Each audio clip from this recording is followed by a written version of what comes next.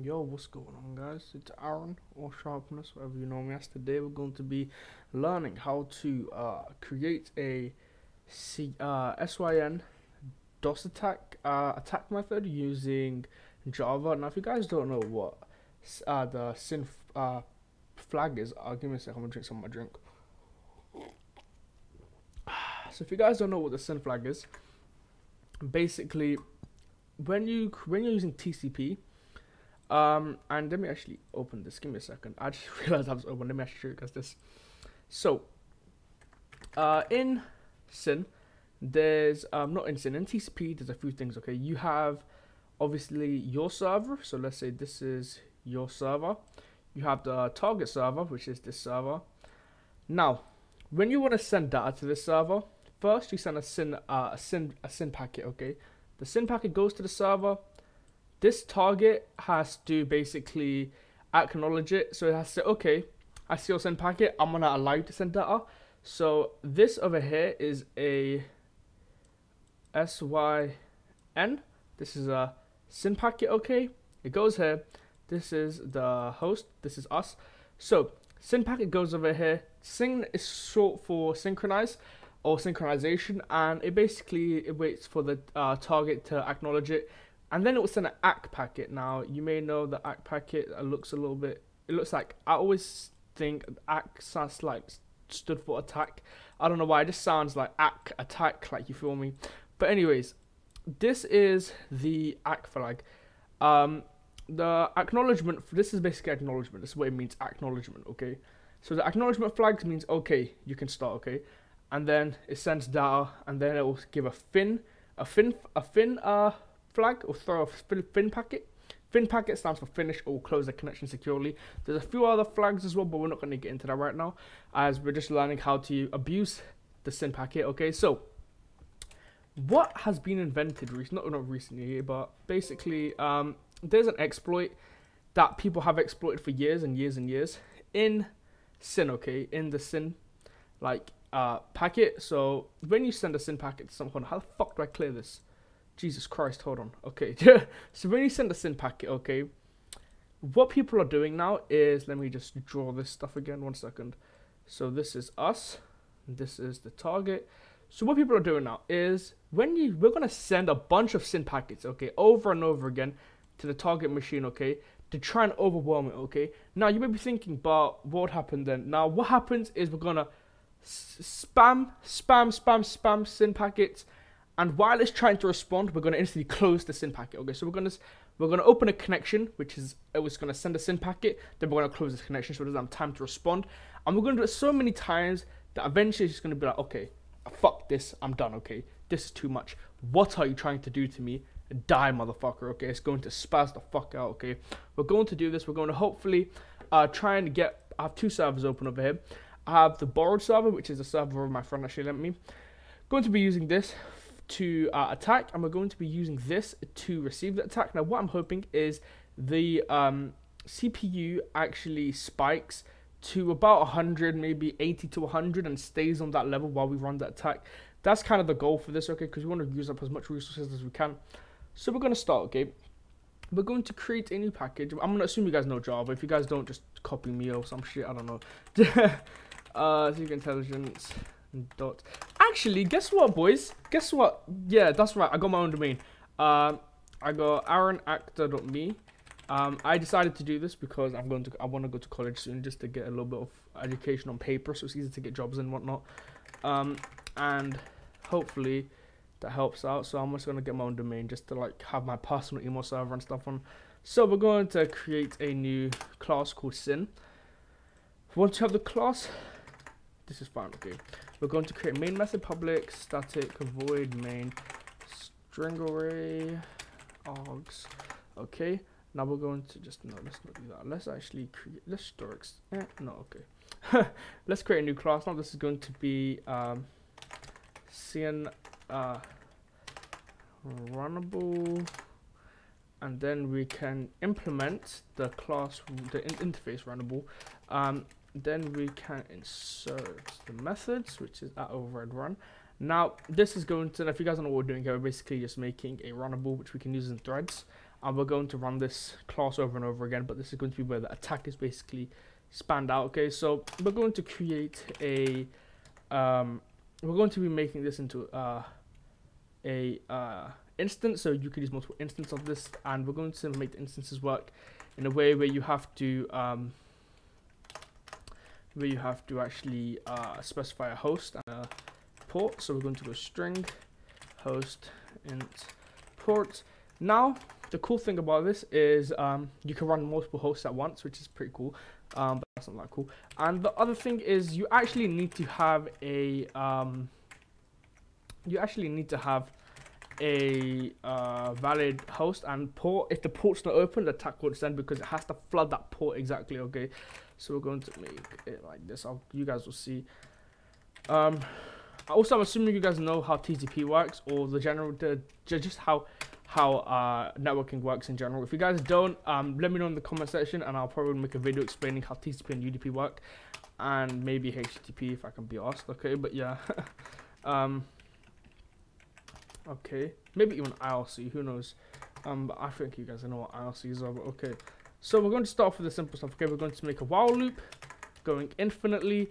Now you can add a timer to this. If you guys don't know how to make a timer so that you can make a text last for a certain amount of seconds, let me know I'll make that as well, but I can't be asked, honestly. so uh, we're going to start off with uh, the basics, okay? We're going to do a try catch statement. Try catch, um, let's just do let's just handle all exceptions, which is, we're only going to receive one exception realistically here. Maybe two, depending on the host port, etc. Um, okay, so, let me drink some more of my drink. okay. So we're not going to handle an exception. We're just going to leave the exception like that. Um, we're going to create a socket. So we're going to go socket, socket equals new socket. Close it off, okay? That's what we need to do. Now we're going to do socket dot connect, and then we're going to type some cool stuff. So we're going to go new inet socket address, and then we're going to type in host um, port, and then we're going to add a thing over here and we're going to add now the cool thing about this now not a lot of people know this okay but give me a second not a lot of people know this but when you use socket.connect you can actually add a timeout now we're going to add a timeout of five seconds no, let's do two seconds okay? So if uh, within two seconds nothing responds we're going to do it again. And do you know what? No let's do it. Uh, let's do 2.5 seconds okay? Because i don't want to rush it okay? And then we're going to go thread dot sleep 20 just so it doesn't you know just destroy our server. And then um, we're done believe it or not that's all it is as you guys can see we're just we're going to create a socket which should send the SYN packet. Then we're going to connect. And then we're actually going to wait 20 let's wait 20 let's wait mm, let's wait 100 milliseconds 0.1 seconds basically until we then uh socket dot disconnect close. Yeah okay my fault. Um but yeah that's what we need to do now. That's what we need to do believe it or not guys um now we need to go into the main and then we're going to do a few things. We're just going to make a we're going to make a set of threads. And there's going to be threads equals new hash set. And then we're going to create the following. We're going to do um, so string so string x equals args 0 we're just going to allow simple input for um, our host port etc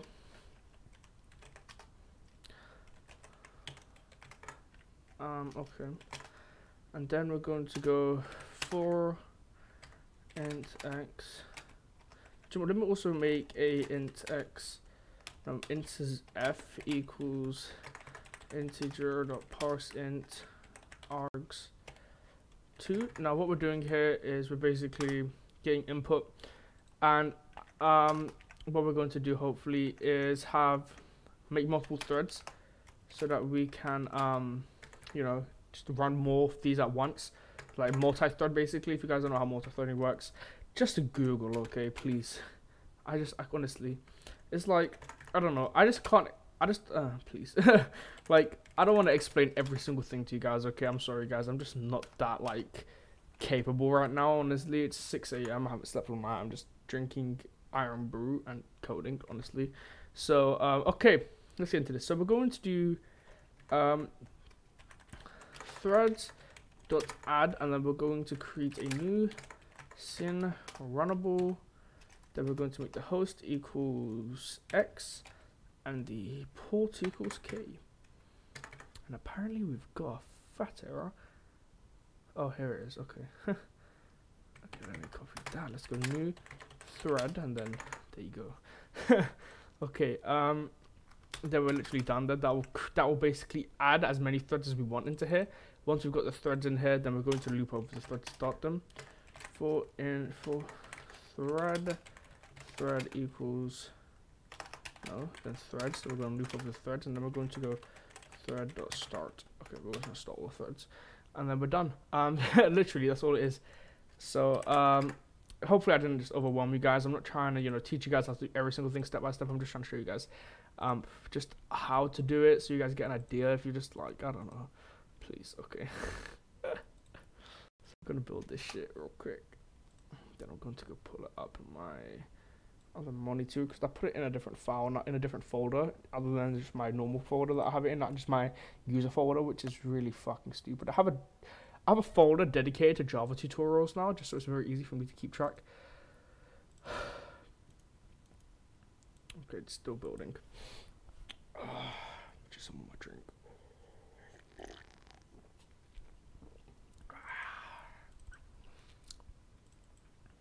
Okay. Let's throw this into there. Okay. Now we see the server. Okay, the server's chilling right now. Server's chilling. Um, we need to actually get the IP for this. I have config.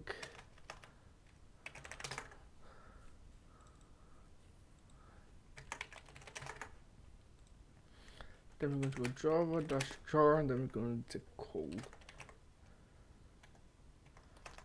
Damn it, I've got so many.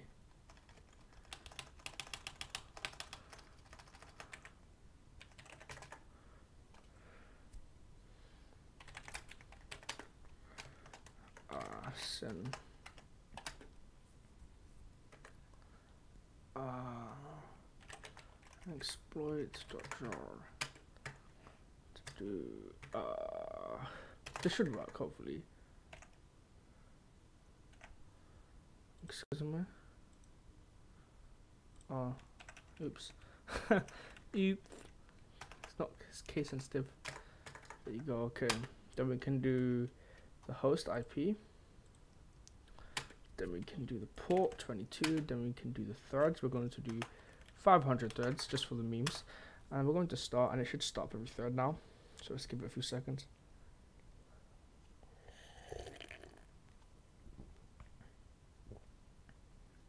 Let's see what's going on now. Guys can see that shit's off now. 100% CPU. Network's not really being interrupted as we're not using, we're not like, you know, trying to interrupt the network. We're just trying to abuse the fucking resources of the server. so yeah, as you guys can see. And then this server is not even being touched. It's on 11 CPU right now and then once we start this up again as you guys can see it off. So that is how to send sin attacks. Um, that is how to create a sin uh, attack method. I hope you guys enjoyed. Drop a like subscribe and peace out